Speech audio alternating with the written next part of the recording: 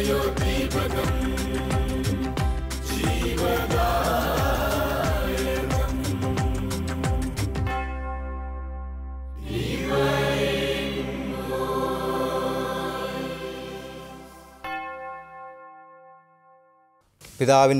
പുത്രന്റെയും പരിശുദ്ധാത്മാവിന്റെ നാമത്തിൽ ആമീൻ. ഈശ്വമിശിഹായ്ക്കും സ്തുതിയായിരിക്കട്ടെ. പ്രിയപ്പെട്ടവരെ നമ്മുടെ ഇപ്പോഴത്തെ ജീവിത സാഹചര്യം. നമ്മെ വലിയ കാരുണ്യ പ്രവൃത്തിയിലേക്ക് വിളിക്കുന്നുണ്ട് ക്ഷണിക്കുന്നുണ്ട്. നമ്മൾ ഇപ്പോൾ ലൂക്കായുടെ സുവിശേഷത്തിൽ നമുക്ക് സുപരിചിതമായ ഒരു ഭാഗം ശ്രവിച്ചിട്ട് ഈ ധ്യാന ചിന്ത ആരംഭിക്കാം. ലൂക്കായുടെ സുവിശേഷം പത്താം അധ്യായം ഇരുപത്തി അഞ്ച് മുതൽ മുപ്പത്തി ഏഴ് വരെയുള്ള തിരുവചനങ്ങളിൽ നല്ല സമരായക്കാരന്റെ ഉപമ യേശു അരുളി ചെയ്യുന്നുണ്ട്. നമ്മൾ അനേകം പ്രാവശ്യം ശ്രവിച്ചിട്ടുള്ളതാണ് ധ്യാനിച്ചിട്ടുള്ളതാണ്. എങ്കിലും നമുക്ക് മുൻവിധിയൊന്നും കൂടാതെ ഉള്ളു തുറന്ന് ഈ വചനം ഒന്നുകൂടെ ശ്രവിക്കാം അപ്പോൾ ഒരു നിയമത്തിൽ എഴുന്നേറ്റ് നിന്ന് അവനെ പരീക്ഷിക്കുവാൻ ചോദിച്ചു ഗുരു നിത്യജീവൻ അവകാശമാക്കുവാൻ ഞാൻ എന്തു ചെയ്യണം? അവൻ ചോദിച്ചു നിയമത്തിൽ എന്ത് എഴുതിയിരിക്കുന്നു? നീ എന്തു വായിക്കുന്നു? അവൻ ഉത്തരം പറഞ്ഞു നീ നിന്റെ ദൈവമായ കർത്താവിനെ പൂർണ ഹൃദയത്തോടും പൂർണ ആത്മാവോടും പൂർണ ശക്തിയോടും പൂർണ മനസ്സോടും കൂടെ സ്നേഹിക്കണം. നിന്റെ അയൽക്കാരനെ നിന്നെപ്പോലെയും. അവൻ പ്രതിവചിച്ചു നീ ശരിയായി തന്നെ ഉത്തരം പറഞ്ഞു. ഇതനുസരിച്ച് പ്രവർത്തിക്കുക നീ ജീവിക്കും. എന്നാൽ അവൻ തന്നെ തന്നെ സാധൂകരിക്കാൻ ആഗ്രഹിച്ച് യേശുവിനോട് ചോദിച്ചു ആരാണ് എന്റെ അയൽക്കാരൻ? യേശു പറഞ്ഞു ഒരുവൻ ജെറൂസലേമിൽ നിന്ന് ജെറീക്കോയിലേക്ക് പോവുകയായിരുന്നു. അവൻ കവർച്ചക്കാരുടെ കയ്യിൽപ്പെട്ടു അവർ അവന്റെ വസ്ത്രങ്ങൾ ഉരിഞ്ഞെടുത്ത് അവനെ പ്രഹരിച്ച് അർത്ഥപ്രാണനാക്കിയിട്ട് പോയി കളഞ്ഞു. ഒരു പുരോഹിതൻ ആ വഴിയെ വന്നു. അവനെ കണ്ട് മറുവശത്തുകൂടെ കടന്നുപോയി. അതുപോലെ ഒരു ലേവായനം അവിടെ വന്നപ്പോൾ അവനെ കണ്ടെങ്കിലും കടന്നുപോയി. എന്നാൽ ഒരു സമരയക്കാരൻ യാത്രാമധ്യേ അവൻ കിടന്ന സ്ഥലത്ത് വന്നു. അവനെ കണ്ട് മനസ്സലിഞ്ഞ് അടുത്ത് ചെന്ന് എണ്ണയും വീഞ്ഞുമൊഴിച്ച് അവന് മുറിവുകൾ വച്ചുകെട്ടി തന്റെ കഴുതയുടെ പുറത്ത് കയറ്റി ഒരു സത്രത്തിൽ കൊണ്ടുചെന്ന് പരിചരിച്ചു. അടുത്ത ദിവസം അവൻ സത്രം സൂക്ഷിപ്പുകാരന്റെ കയ്യിൽ രണ്ട് നെനാറ കൊടുത്തിട്ട് പറഞ്ഞു ഇവന്റെ കാര്യം നോക്കിക്കൊള്ളണം. കൂടുതലായി എന്തെങ്കിലും ചിലവാകുന്നെങ്കിൽ ഞാൻ തിരിച്ചു വരുമ്പോൾ തന്നുകൊള്ളാം. കവർച്ചക്കാരുടെ കയ്യിൽപ്പെട്ട ആ മനുഷ്യന് ഈ മൂവരിൽ ആരാണ് അയൽക്കാരനായി വർത്തിച്ചത്? അവനോട് കരുണ കാണിച്ചവൻ എന്ന് ആ നിയമത്തിൻ പറഞ്ഞു. യേശു പറഞ്ഞു നീയും പോയി അതുപോലെ ചെയ്യുക. പ്രിയപ്പെട്ടവരെ ആദര ശുശ്രൂഷ മേഖലയിൽ പ്രവർത്തിക്കുന്നവരോട് വളരെയധികം ബഹുമാനവും ആദരവും ഒക്കെ പ്രകടമാക്കപ്പെടുന്ന ഒരു കാലഘട്ടത്തിലാണ് നാം ഇപ്പോൾ ജീവിക്കുക. തങ്ങൾ രോഗികളെ ശുശ്രൂഷിക്കുന്ന അവസരത്തിൽ അതേ രോഗം തങ്ങളിലേക്കും പടരാമെന്നും തങ്ങളുടെ ജീവനും അപകടത്തിൽ ആകാമെന്നും നന്നായിട്ട് അറിയാവുന്ന നേഴ്സുമാരും ഡോക്ടർമാരും ഈ അപകട അവസ്ഥയെല്ലാം അവഗണിച്ചുകൊണ്ട് രോഗീ ശുശ്രൂഷ നടത്തുകയും അനേകം പാവപ്പെട്ടവരുടെ ഹൃദയങ്ങളിൽ അവർ സ്ഥാനം പിടിക്കുകയും ചെയ്യുന്നുണ്ട്. അതുകൊണ്ട് ഈ കാലഘട്ടത്തിൽ നമ്മൾ ധ്യാനിക്കേണ്ട ഒരു വിഷയം തന്നെയാണ് രോഗീ ശുശ്രൂഷയുടെ ആവശ്യവും രോഗി സന്ദർശനത്തിന്റെ അനിവാര്യതയുമൊക്കെ. സഭയിൽ എന്നും രോഗീ ശുശ്രൂഷയും രോഗീ സന്ദർശനവുമൊക്കെ സഭയുടെ കാരുണ്യ പ്രവർത്തികളിൽ വളരെ പ്രധാനപ്പെട്ട ഒന്നായി തന്നെയാണ് കണക്കാക്കപ്പെട്ടിരിക്കുന്നത്. പതിനാല് കാരുണ്യ പ്രവർത്തികളിൽ ശാരീരികങ്ങളായ ഏഴ് കാരുണ്യ പ്രവർത്തികളിൽ നാലാമത്തേതായിട്ട് സഭ അവതരിപ്പിക്കുന്നത് രോഗി സന്ദർശനമാണ്. മത്തായുടെ സുവിശേഷത്തിൽ ഇരുപത്തി അഞ്ചാമത്തെ അധ്യായത്തിൽ പതിമൂന്ന് മുതലുള്ള തിരുവചനങ്ങളിൽ അന്ത്യവിധിയുടെ ഉപമയിൽ കർത്താവ് പറഞ്ഞ ആ സത്യമാണ്. ഈ കാരുണ്യ പ്രവൃത്തിയുടെ പിന്നിൽ സഭ കാണുന്നത്.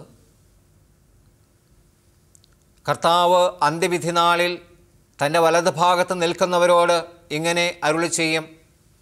എന്റെ പിതാവിനാൽ അനുഗ്രഹിക്കപ്പെട്ടവരെ വരുവിൻ. ലോകസ്ഥാപനത്തെ മുമ്പ് തന്നെ ദൈവം നിങ്ങൾക്കായി ഒരുക്കി വച്ചിരിക്കുന്ന ആ സ്വർഗഭാഗ്യത്തിലേക്ക് നിങ്ങൾ പ്രവേശിക്കുവിൻ. കാരണം എനിക്ക് വിശന്നു നിങ്ങൾ എനിക്ക് ഭക്ഷണം തന്നു. എനിക്ക് ദാഹിച്ചു നിങ്ങൾ കുടിക്കുവാൻ തന്നു. പരദേശിയായിരുന്നു നിങ്ങൾ എന്നെ സ്വീകരിച്ചു. രോഗിയായിരുന്നു നിങ്ങൾ എന്നെ സന്ദർശിച്ചു. ഈ രോഗിയെ സന്ദർശിക്കുക എന്ന് പറയുന്നത് സ്വർഗരാജ്യത്തിൽ പ്രവേശിക്കാനായിട്ടുള്ള ഒരു വ്യവസ്ഥയായി യേശു അവിടെ അവതരിപ്പിക്കുകയാണ്.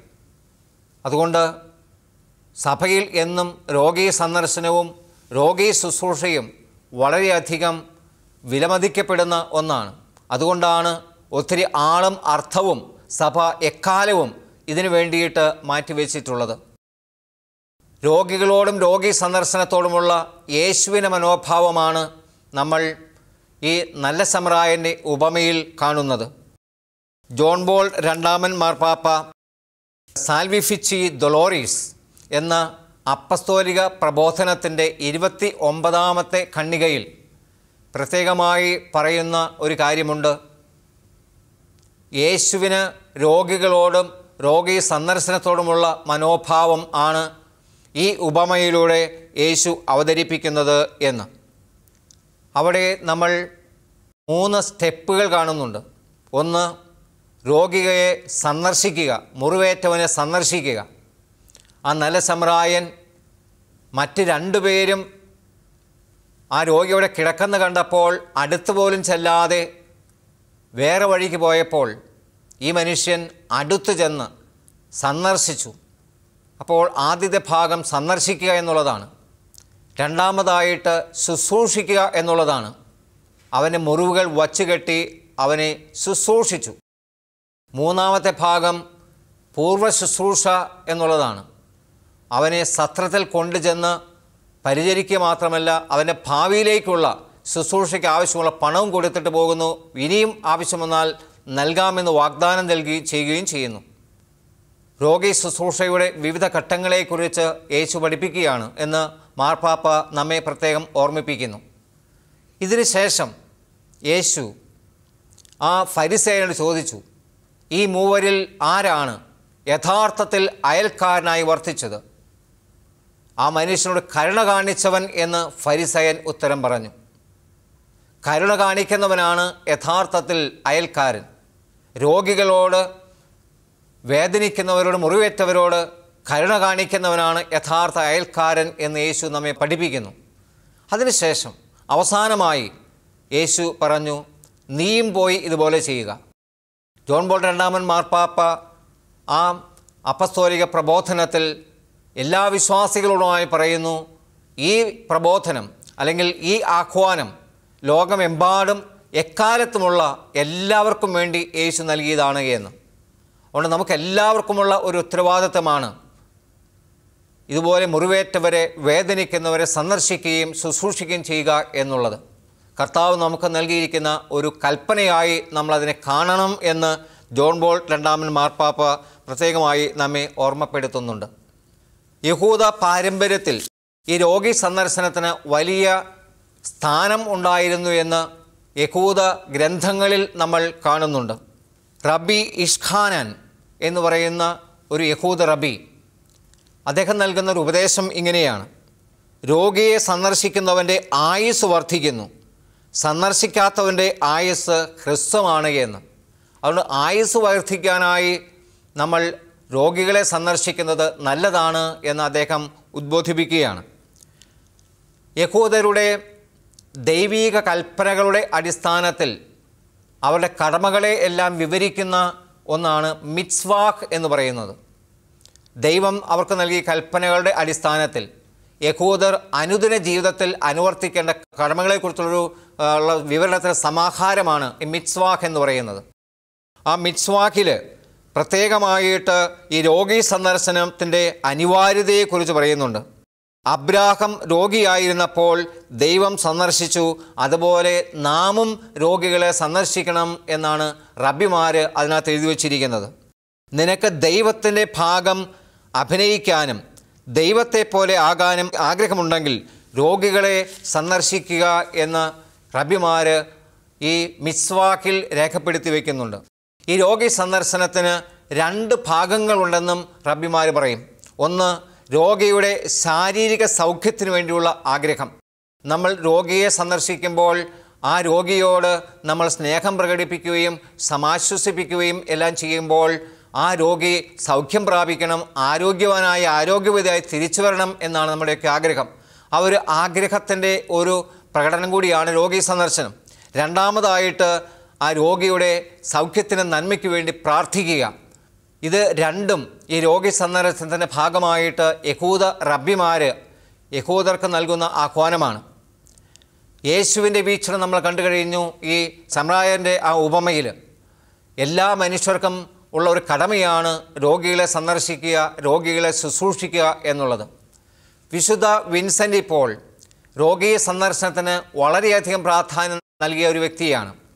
വിശുദ്ധ വിൻസെന്റ് പോളിന്റെ വീക്ഷണത്തിൽ രോഗി യേശുവിന്റെ തന്നെ പ്രതിനിധിയാണ്. ആധുനിക കാലഘട്ടത്തിൽ മദർ തെരേസായും അതുപോലെ തന്നെയാണ് രോഗികളെ കണക്കാക്കിയിരുന്നത്. യേശുവിന് പ്രതിരൂപമാണ് ഈ രോഗി. അന്ത്യവിധിയുടെ ഉപമയിൽ യേശു പറഞ്ഞത് തന്നെയാണല്ലോ ഞാൻ രോഗിയായിരുന്നു നിങ്ങൾ എന്നെ സന്ദർശിച്ചു എന്ന്. അപ്പോൾ അവർ ചോദിക്കും നീ എപ്പോഴാണ് രോഗിയായതിനെ കണ്ട് സന്ദർശിച്ചത്? ഈ എളിയവനെ സന്ദർശിച്ചപ്പോൾ എന്നെ തന്നെയാണ് സന്ദർശിച്ചത് അതാണ് യേശു പറഞ്ഞത്. അതുകൊണ്ട് രോഗികളിൽ ദൈവിക ഛായ കാണുക ദൈവത്തെ കാണുക അതാണ് രോഗി സന്ദർശനത്തിനും രോഗി ശുശ്രൂഷയ്ക്കും നമ്മെ പ്രചോദിപ്പിക്കുന്നത് പ്രേരിപ്പിക്കുന്നത്. രോഗിയിൽ വില കാണുക ആ ശമ്രായക്കാരൻ എന്തുകൊണ്ടാണ് ആ മുറിവേറ്റ മനുഷ്യനെ ശുശ്രൂഷിച്ചത്? കാരണം മറ്റ് രണ്ടുപേരും അവനിൽ മരണമാണ് കണ്ടത്. പകുതി മരിച്ചവനായിട്ടാണ് അവൻ വഴിയിൽ കിടന്നത്. അതുകൊണ്ട് തങ്ങൾ ശുശ്രൂഷിക്കുന്ന അവസരത്തിൽ മരിച്ചു പോയി കഴിഞ്ഞാൽ തങ്ങൾ മൃതശരീരത്തെ സ്പർശിക്കുമെന്നും അശുദ്ധരാകുമെന്നും തോന്നിയതുകൊണ്ട് അവർ വിട്ടിട്ട് പോയി. പക്ഷേ സമരായക്കാരൻ ആ മനുഷ്യൻ മരണമല്ല കണ്ടത് അവനിൽ ജീവനാണ് കണ്ടത്. പകുതി മരിച്ചവനാണെങ്കിൽ അവരിൽ പകുതി ജീവനുണ്ട്. പകുതി ജീവനുണ്ടെങ്കിൽ അവന് മുഴുജീവനിലേക്ക് തനിക്ക് കൊണ്ടുവരാൻ കഴിയും. ആ ബോധ്യത്തോടു കൂടിയാണ് സമരായക്കാരൻ അവനെ ശുശ്രൂഷിച്ചത്. അവന് നന്മ കണ്ടതുകൊണ്ട് അവന് മൂല്യം കണ്ടതുകൊണ്ട് വില കണ്ടതുകൊണ്ടാണ്. ഇന്നും ആദര ശുശ്രൂഷകർ തങ്ങളുടെ ജീവൻ പോലും പണയം വെച്ചുകൊണ്ട് ഈ രോഗികളെ ശുശ്രൂഷിക്കാൻ കാരണമെന്താണ് ഇവർ വിലയുള്ള മനുഷ്യരാണ്. ഇവന്റെ ജീവന് വിലയുണ്ട്. ഇവന്റെ പ്രിയപ്പെട്ടവർ ആ ജീവന് വേണ്ടി കാത്തിരിക്കുന്നുണ്ട്. അവന്റെ കുടുംബത്തിന് അവളുടെ കുടുംബത്തിനെല്ലാം ഒത്തിരി വിലപ്പെട്ടവനും വിലപ്പെട്ടവളുമാണ് ഇവൾ. അതുകൊണ്ട് ആ ജീവൻ സംരക്ഷിക്കേണ്ടതും ജീവൻ രക്ഷിക്കേണ്ടതും തങ്ങളുടെ ഉത്തരവാദിത്തമാണെന്ന വലിയ ബോധ്യമാണ് അവരെയെല്ലാം അതിന് പ്രേരിപ്പിക്കുന്നത്. മദർ തെരസയോട് ഒരിക്കൽ കുറച്ച് പത്രപ്രവർത്തകർ ചോദിച്ചു മദറെ ഈ കുഷ്ഠരോഗികളൊക്കെ ശുശ്രൂഷിക്കാൻ മദറിന് എങ്ങനെയാണ് കഴിയുന്നത്? ചീഞ്ഞളിഞ്ഞ ശരീരം ദുർഗന്ധം വമിക്കുന്ന ശരീരം. ഈ ശരീരത്തോടു കൂടിയവരെ എങ്ങനെയാണ് വാരിപ്പുണരുവാനും ശുശ്രൂഷിക്കാനും അമ്മയ്ക്ക് കഴിയുന്നത്? പത്ത് മില്യൺ ഡോളർ തന്നാൽ പോലും ഞങ്ങളെക്കൊണ്ടത് പറ്റുമെന്ന് തോന്നുന്നില്ല. അപ്പോൾ മദർ പറഞ്ഞു നൂറ് മില്യൺ ഡോളർ തന്നാലും ഞാനത് ചെയ്യില്ല. അപ്പോൾ അത്ഭുതം കൂറി പത്രപ്രവർത്തകർ മദർ തെരേസയോട് ചോദിച്ചു പിന്നെ എന്തുകൊണ്ട് അമ്മ അത് ചെയ്യുന്നു? അപ്പോൾ മദർ തെരേസ പറഞ്ഞ ഉത്തരം എങ്ങനെയാണ്? Because I see the face of Jesus the image of Jesus in this deform people ഈ വികൃതമായ ശരീരത്തോടു കൂടിയ രോഗികളായ ഇവരിൽ ഞാൻ യേശുവിന്റെ രൂപം കാണുന്നു ദൈവത്തിന്റെ ഛായ കാണുന്നു അതുകൊണ്ടാണ് അവരെ ശുശ്രൂഷിക്കുന്നത് എന്ന്. വിശുദ്ധ വിൻസെന്റ് ഇപ്പോഴും അതേ മനോഭാവം ഉള്ള വ്യക്തിയായിരുന്നു. അതുകൊണ്ടാണ് രോഗികളെ ശുശ്രൂഷിക്കുവാൻ അവിടുന്ന് തന്റെ ജീവിതത്തിൽ വലിയ ഒരു സ്ഥാനം കൊടുത്തത്. അതിനുവേണ്ടി തന്നെയാണ് രണ്ട് സന്യാസ സമൂഹങ്ങൾ വിശുദ്ധ വിൻസെന്റ് ഇപ്പോൾ സ്ഥാപിച്ചത്. Daughters of charity ladies of charity എന്ന രണ്ട് സന്യാസിന സമൂഹങ്ങൾ രോഗി സന്ദർശനത്തിനും രോഗി ശുശ്രൂഷയ്ക്കും വേണ്ടിയിട്ട് വിശുദ്ധ വിൻസെന്റ് ഇപ്പോൾ സ്ഥാപിച്ചു. വിശുദ്ധ വിൻസെന്റ് ഇപ്പോൾ അവർക്ക് കൊടുക്കുന്ന ഒരു ഉപദേശമുണ്ട്. ആ ഉപദേശത്തെ ഒരു തത്വമായി അവതരിപ്പിക്കുന്നത് എങ്ങനെയാണ്? Leave God for God sake ദൈവത്തിന് വേണ്ടി ദൈവത്തെ ഉപേക്ഷിക്കുക എന്ന്. അത് അദ്ദേഹം വിവരിക്കുന്നത് എങ്ങനെയാണ്? നിങ്ങൾ പ്രാർത്ഥിച്ചുകൊണ്ടിരിക്കുകയാണ്. നിങ്ങൾ വിശുദ്ധ ബലിയിൽ പങ്കെടുത്തുകൊണ്ടിരിക്കുകയാണ്. അപ്പോഴാണ് ആരോ വന്ന് നിങ്ങൾ പറയുന്നത് ഒരു വ്യക്തിക്ക് ഇപ്പോൾ തന്നെ രോഗി ശുശ്രൂഷ ആവശ്യമുണ്ട് അത്യാസന നിലയിലാണ് എന്ന് പറയുന്നത്. നിങ്ങൾ പ്രാർത്ഥന അവിടെ ഉപേക്ഷിക്കുക. നിങ്ങൾ വിശുദ്ധ ബലി അവിടെ നിർത്തിയിട്ട് ഉടനെ തന്നെ ആ മനുഷ്യനെ പോയി ശുശ്രൂഷിക്കണം കാരണം നിങ്ങൾ പ്രാർത്ഥിക്കുന്ന അതേ ദൈവം തന്നെ നിങ്ങൾ വിശുദ്ധ ബലി കണ്ടുമുട്ടുന്ന അതേ ദൈവം തന്നെയാണ് ആ രോഗിയിൽ ഉള്ളത്. പക്ഷെ നിങ്ങൾ അങ്ങനെ ചെയ്യുമ്പോൾ അത് നിങ്ങളുടെ അലസത കൊണ്ടോ പ്രാർത്ഥനയോടുള്ള വിമുഖത കൊണ്ടോ ഒന്നും ആയിരിക്കരുത്. പ്രത്യുത ഈ രോഗിയിൽ ദൈവത്തെ കണ്ടുകൊണ്ട് ആയിരിക്കണം. അതുകൊണ്ട് ദൈവത്തിന് വേണ്ടി ദൈവത്തെ ഉപേക്ഷിച്ച് നിങ്ങൾ രോഗികളെ ശുശ്രൂഷിക്കാൻ പോകണം എന്ന് പറയുന്നുണ്ട്. അത് നമ്മൾ വിവേകത്തോടുകൂടി വേണം സ്വീകരിക്കുവാൻ. ഞാൻ പറഞ്ഞു അങ്ങനെ നമ്മൾ പ്രാർത്ഥന ഉപേക്ഷിക്കുന്നതും വിശുദ്ധ ബലി ഉപേക്ഷിച്ചിട്ട് പോകുന്നതുമൊക്കെ ആത്മീയമായ അലസത കൊണ്ടോ ഒന്നും ആയിരിക്കരുത്. പ്രത്യുത രോഗികളോടുള്ള അമിതമായിട്ടുള്ള അല്ലെങ്കിൽ ദൈവത്തിന്റെ ഹൃദയത്തിലുള്ള അതേ നൊമ്പരം അതേ വേദന അതേ കരുണ ഹൃദയത്തിൽ സ്വീകരിച്ചുകൊണ്ടായിരിക്കണമെന്ന് വിശ്വൻസൻ ഇപ്പോൾ ആഹ്വാനം ചെയ്യുകയാണ്. ജോൺ ബോൾ രണ്ടാമൻ മാർപ്പാപ്പയുടെ ജീവചരിത്രകാരന്മാർ. പ്രത്യേകമായി എടുത്തു പറയുന്നൊരു കാര്യമുണ്ട്. ജോൺ ബോൾ രണ്ടാമൻ മാർപ്പാപ്പയ്ക്ക് രോഗികളോട് പ്രത്യേകമായ ഒരു കാരുണ്യമുണ്ടായിരുന്നു. അദ്ദേഹം ക്രാക്കോവിലെ മെത്രാനായിരിക്കുന്ന അവസരത്തിൽ അദ്ദേഹത്തിന്റെ ദിനചര്യയിൽ ഒന്നായിരുന്നു രോഗികളെ സന്ദർശിക്കുക എന്നുള്ളത്. മാർപ്പാപ്പ ആയതിനു ശേഷവും അവസരം കിട്ടുമ്പോഴെല്ലാം ആശുപത്രികളിൽ പോയി അദ്ദേഹം രോഗീ സന്ദർശനം നടത്തിയിരുന്നു എന്ന് നമ്മൾ വായിച്ചിട്ടുണ്ട്. ജീവചരിത്രകാരന്മാർ അത് പ്രത്യേകമായി എടുത്തു പറയുന്നുമുണ്ട്. ഈ രോഗികളോടുള്ള പ്രത്യേകമായ ഒരു താല്പര്യവും കരുണയും കൊണ്ടാണ് ലോർദ് മാതാവിന്റെ തിരുനാളിന്റെ ദിനമായ ഫെബ്രുവരി പതിനൊന്നാം തീയതി ലോക രോഗി ദിനമായി മാർപ്പാപ്പ പ്രഖ്യാപിച്ചത്. ആയിരത്തി തൊള്ളായിരത്തി തൊണ്ണൂറ്റി മൂന്നിലെ ആദ്യത്തെ ലോക രോഗി ദിനത്തിന് ആമുഖമായി നൽകിയ സന്ദേശത്തിൽ രോഗി ശുശ്രൂഷകരെ മാർപ്പാപ്പ ഇങ്ങനെ പ്രബോധിപ്പിക്കുന്നുണ്ട്. നിങ്ങൾ വിളിക്കപ്പെട്ടിരിക്കുന്നത് ഉന്നതവും ഏറ്റവും യോഗ്യവുമായ അനുകരണീയമായ വിധം സ്നേഹത്തിനും നീതിക്കും സാക്ഷ്യം വഹിക്കാനാണ് എന്ന്. ദൈവത്തിന്റെ കരുണയ്ക്കും ദൈവത്തിന്റെ സ്നേഹത്തിനും സാക്ഷ്യം വഹിക്കാനായിട്ട് ലഭിച്ചിരിക്കുന്ന ഉന്നതമായൊരു വിളിയാണ് രോഗി ശുശ്രൂഷകൾ വിളി രോഗി ശുശ്രൂഷകൾ വിളി എന്ന് പരിശുദ്ധ പിതാവ് ഉദ്ബോധിപ്പിക്കും. ഈ ദിനാഘോഷം മനുഷ്യ മഹത്വത്തെ മാനിച്ചും വ്യക്തികളുടെ മൂല്യത്തോട് തുറവി കാണിച്ചും രോഗി ശുശ്രൂഷയിൽ ഏർപ്പെടുവാൻ നിങ്ങൾക്ക് നവ്യമായ ഉത്തേജനം നൽകട്ടെ എന്നും. നിങ്ങൾ രോഗികളെ ശുശ്രൂഷിക്കുന്നത് ഈ രോഗിയുടെ മഹത്വത്തെ അംഗീകരിച്ചുകൊണ്ടായിരിക്കണം. അവന്റെ ജീവിതത്തിന് വില അംഗീകരിച്ചുകൊണ്ടായിരിക്കണം. ഈ എന്റെ മുമ്പിൽ കാണുന്ന ഈ രോഗി ഞാൻ കാണാൻ ചെന്നിരിക്കുന്ന ഈ രോഗി ദൈവത്തിന്റെ സാദൃശ്യത്തിലും ഛായയിലും സൃഷ്ടിക്കപ്പെട്ട ഒരു വ്യക്തിയാണ് എന്റെ ജീവനോളം തന്നെ വിലയുള്ള ഒരു ജീവനാണ് എന്റെ മുമ്പിലുള്ളത് എന്നാൽ ബോധത്തോടു കൂടി വേണം ശുശ്രൂഷ നടത്താനെന്ന് പരിശുദ്ധ പിതാവ് രോഗി ശുശ്രൂഷകരെ ഓർമ്മപ്പെടുത്തുന്നുണ്ട്.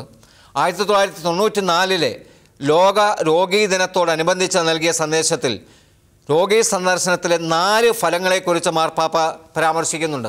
ഒന്ന് രോഗികളെ ആശ്വസിപ്പിക്കുക. അതുകൊണ്ട് രോഗികളെ സന്ദർശിക്കുന്നത് അവരെ ആശ്വസിപ്പിക്കാൻ വേണ്ടിയിട്ടാണ്. നമ്മുടെ സാന്നിധ്യം തന്നെ അവർക്ക് ആശ്വാസം പ്രദാനം ചെയ്യും. രണ്ട് രോഗാവസ്ഥയിൽ ധൈര്യപ്പെടുത്തുക.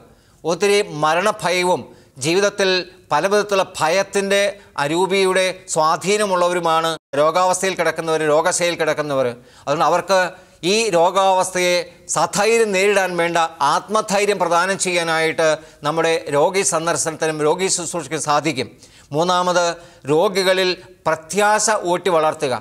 ഒത്തിരി നിരാശയുള്ളവരായിരിക്കും രോഗികൾ ജീവിതത്തെക്കുറിച്ച് ഭാവിയെക്കുറിച്ച് പ്രതീക്ഷയില്ലാത്തവർ തങ്ങളുടെ ജീവിതം അവസാനിച്ചു ഇനി തങ്ങൾക്ക് രക്ഷയില്ല എന്നൊക്കെയുള്ള നിരാശ ചിന്തൽ കഴിയുന്നവരായിരിക്കും രോഗികൾ അതുകൊണ്ട് അവർക്ക് പ്രത്യാശ പ്രദാനം ചെയ്യുക പ്രത്യാശ ഊട്ടി വളർത്തുക എന്നുള്ളത് രോഗി സന്ദർശനത്തിന്റെ ഒരു ഭാഗമാണ്.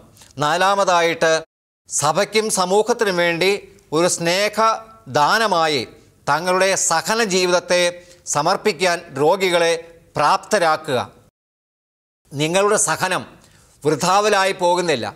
ഈ സഹനം യേശുവിന്റെ സഹനത്തോട് ചേർത്ത് വെച്ച് കഴിഞ്ഞാൽ നിങ്ങളുടെ സഹനത്തിലൂടെ നിങ്ങളുടെ കുടുംബത്തിന് സമൂഹത്തിന് സഭയ്ക്ക് ലോകത്തിന് മുഴുവൻ നന്മയുണ്ടാകും. അതുകൊണ്ട് നിങ്ങളുടെ സഹനം ഈ നല്ല കാര്യത്തിലൂടെ ഉപയോഗിക്കാനായിട്ടുള്ള ഒരു ഉൾപ്രചോദനം രോഗികൾക്ക് കൊടുക്കുക. അഞ്ചാമതായിട്ടൊരു കാര്യം കൂടി മാർപ്പാവ പിന്നീട് കൂട്ടിച്ചേർക്കുന്നുണ്ട്. അതിങ്ങനെയാണ്. നിങ്ങൾ രോഗികളെ സന്ദർശിക്കുമ്പോൾ അവരോട് പറയുക നിങ്ങൾ ഞങ്ങൾക്ക് വേണ്ടി പ്രാർത്ഥിക്കണമെന്ന്. നമ്മൾ പലപ്പോഴും പ്രതീക്ഷിക്കുന്നത് രോഗികൾക്ക് വേണ്ടി പ്രാർത്ഥിക്കുക എന്നുള്ളതാണ്. എന്നാൽ രോഗികളോട് പറയണം നിങ്ങൾ ഞങ്ങൾക്ക് വേണ്ടി പ്രാർത്ഥിക്കുക. നിങ്ങളുടെ ഈ രോഗാവസ്ഥയിലും നിങ്ങൾക്ക് വലിയ സേവനം ചെയ്യാൻ പറ്റും. ഈ രോഗക്കിടക്കയിലായിരുന്നു കൊണ്ട് നിങ്ങളുടെ സഹനം കർത്താവിന്റെ സഹനത്തോട് ചേർത്ത് വെച്ചിട്ട് ഞങ്ങൾക്കെല്ലാം വേണ്ടി സഹിക്കുന്നവർക്ക് വേണ്ടി നിങ്ങൾ പ്രാർത്ഥിക്കുമ്പോൾ നിങ്ങളുടെ സഹനത്തെ മൂല്യമുണ്ടാകും. നിങ്ങളുടെ ജീവിതം കൊണ്ട് മറ്റുള്ളവർക്ക് അനുഗ്രഹമുണ്ടാകും. നിങ്ങൾ ഒരുപക്ഷെ ഉണർന്ന് ആരോഗ്യത്തോടുകൂടി പ്രാവർത്തിക്കുന്ന കാലഘട്ടത്തേക്കാൾ ഒത്തിരി നന്മ ഈ രോഗാവസ്ഥയിലായിരിക്കുമ്പോൾ പ്രാർത്ഥനയിലൂടെ നിങ്ങൾക്ക് ചെയ്യാൻ കഴിയും എന്നുള്ള ഒരു ബോധ്യം അവർക്ക് കൊടുക്കുക. അങ്ങനെ നമുക്ക് ഈ രോഗികൾക്ക് പ്രത്യാശ കൊടുക്കാൻ പറ്റും. അവരുടെ ജീവിതം മറ്റുള്ളവർക്ക് ഉപകാരപ്രദമാണെന്ന് അവർക്ക് ഒരു ബോധ്യം കൊടുക്കാൻ പറ്റുമെന്ന് മാർപ്പാപ്പ പറയുന്നുണ്ട്. ഈ രോഗി സന്ദർശനത്തിന്റെ നാല് ഫലങ്ങൾ സൂചിപ്പിക്കുകയാണ്. ഒന്ന് മാനസിക തലമാണ്. ഒത്തിരി ഏകാന്തത അനുഭവിക്കുന്നവരും മാനസിക സംഘർഷം അനുഭവിക്കുന്നവരുമാണ് രോഗികൾ എന്നാൽ ഈ രോഗികളെ സന്ദർശിക്കുന്ന അവസരത്തിൽ അവർക്ക് നമ്മൾ കൊടുക്കുന്ന ബോധ്യമാണ് നിങ്ങൾ ഒറ്റയ്ക്കല്ല നിങ്ങളോട് കൂടെ ഞാനുണ്ട്. ഭയപ്പെടേണ്ട ഞാൻ നിങ്ങളോട് കൂടെയുണ്ട്. ദൈവം നൽകിയ വാഗ്ദാനമാണ്. ലോകാവസാനത്തോളം ഞാൻ നിങ്ങളോട് കൂടെ ഉണ്ടായിരിക്കും. യേശു ഏറ്റവും അവസാനമായിട്ട് മത്തായുടെ ഇരുപത്തി ഇരുപത്തിയെട്ടാമത്തെ അധ്യായത്തിൽ ഇരുപതാമത്തെ വചനത്തിൽ നൽകുന്ന വാഗ്ദാനമാണ്. ഈ വാഗ്ദാനത്തിന് പൂർത്തീകരണമായിരിക്കും നമ്മൾ രോഗികളെ സന്ദർശിക്കുന്നത്. നിങ്ങൾ ഒറ്റയ്ക്കല്ല ഞങ്ങൾ കൂടെയുണ്ട് എന്നുള്ള ഒരു ആശ്വാസം പകർന്നു കൊടുക്കാനായിട്ട് മാനസികമായി അവരെ സഹായിക്കാനായിട്ട് രോഗി സന്ദർശനം സാധിക്കും. രണ്ടാമതായിട്ട് ശാരീരികമായ ഒരു ഫലം കൂടി ഉണ്ട് ഈ രോഗി സന്ദർശനത്തിൽ. മാത്യു റോക്ലിഫ് എന്ന് പറയുന്ന ഒരു പ്രൊഫസർ അദ്ദേഹം ഡുർഖാം യൂണിവേഴ്സിറ്റിയിലെ ഒരു ഡോക്ടറാണ്. അദ്ദേഹം പറയുന്നൊരു കാര്യമുണ്ട്. രോഗിയെ നമ്മൾ സന്ദർശിക്കുമ്പോൾ സന്ദർശകരിലുള്ള അതേ വികാരം രോഗിയുടെ തലച്ചോറിൽ ഒരു പ്രത്യേകമായ പ്രതികരണം ഉളവാക്കും. സുസ്മേരവദനരായി നമ്മൾ രോഗികളെ സന്ദർശിക്കുകയും അവരോട് നമ്മൾ സന്തോഷത്തോട് സംസാരിക്കുകയും ചെയ്യുമ്പോൾ നമ്മുടെ തലച്ചോറിലുള്ള ആ സന്തോഷത്തിന്റെ ആ എനർജി ഈ രോഗിയിലേക്ക് കടന്നു ചെല്ലുകയും ആ രോഗിയെയും അത് സ്വാധീനിക്കുകയും ആ തലച്ചോറിൽ നല്ലൊരു പ്രതികരണം ഉണ്ടാക്കുകയും ചെയ്യും. അത് രോഗസൗഖ്യത്തിന് വളരെ സഹായകമാകുമെന്ന് അദ്ദേഹം പറയുന്നുണ്ട്. റോണി നാത്താൻ എന്ന ശാസ്ത്രജ്ഞന്റെ പഠനത്തിൽ പറയുന്നു സ്നേഹവും കരുണയും രോഗിയുടെ ശാരീരിക സൗഖ്യത്തിൽ നിർണായകമായ പങ്ക് വഹിക്കുന്നു എന്ന്.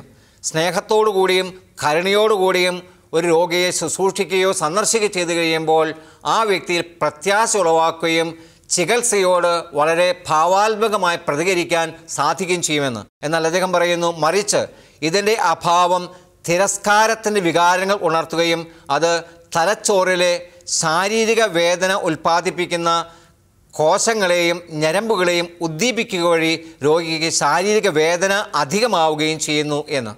അബോധാവസ്ഥയിൽ പോലും കിടക്കുന്ന രോഗിയുടെ അടുക്കൽ സ്നേഹത്തോടുകൂടി ശുശ്രൂഷ ചെയ്യുന്ന വ്യക്തിയുടെ സ്നേഹത്തോട് സന്ദർശിക്കുന്ന വ്യക്തിയുടെ ആ സമീപനം വലിയൊരു മാറ്റമുണ്ടാക്കുമെന്ന് ഡോക്ടർമാർ സാക്ഷ്യപ്പെടുത്തുന്നുണ്ട്.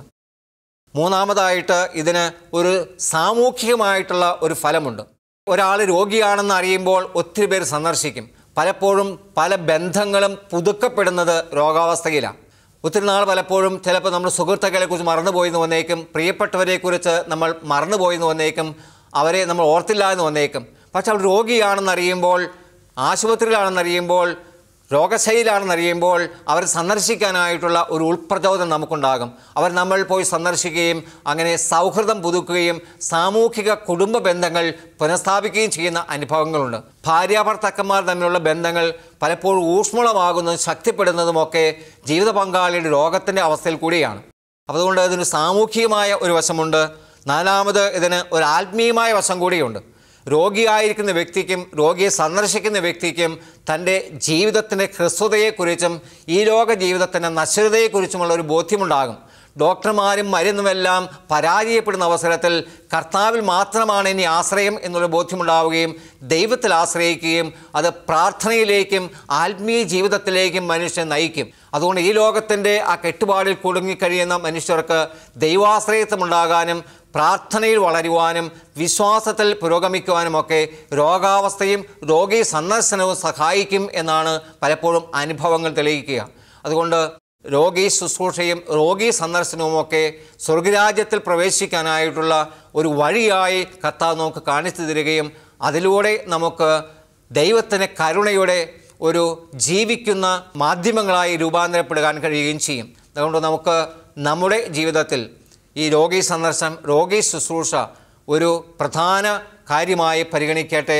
ഈ കാലഘട്ടത്തിൽ ഒത്തിരി പേര് രോഗികളെ കഴിയുന്ന അവസരത്തിൽ നമുക്ക് പറ്റുന്ന രീതിയിൽ തീർച്ചയായിട്ടും സാമൂഹിക അകലം പാലിക്കുക എന്നും രോഗികളെ സന്ദർശിക്കുന്നതിൽ വിലക്കുണ്ടെന്നൊക്കെ നമുക്കറിയാം. എങ്കിലും ഈ കാലഘട്ടത്തിൽ നമുക്ക് പറ്റുന്ന രീതിയിൽ രോഗികളെ സമാശ്വസിപ്പിക്കുവാനും ശുശ്രൂഷിക്കുവാനും കഴിഞ്ഞാൽ അത് വലിയ ഒരു കാരുണ്യ പ്രവൃത്തിയായി രൂപാന്തരപ്പെടും. നമ്മുടെ ജീവിതം ധന്യമാവുകയും ചെയ്യും.